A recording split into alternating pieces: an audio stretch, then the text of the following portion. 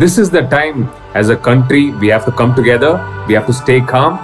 दोस्तों बचाव आपके स्वयं के हाथ में है। आपके परिवार का आपका देश का बचाव सिर्फ़ आपके हाथ में है।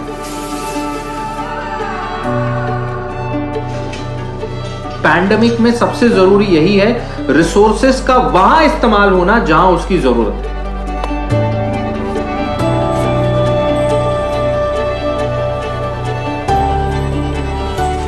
हम आपके लिए काम पर रहते हैं आप हमारे लिए घर पर रहें